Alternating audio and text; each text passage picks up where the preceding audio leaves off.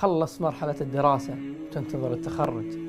تخلص مرحلة التخرج تنتظر الوظيفة. وبعدها تنتظر الزواج. تنتظر عيالك. وبعدها تنتظر وتخاف على منو؟ على أحفادك. عيشها برضا يا عزيزي.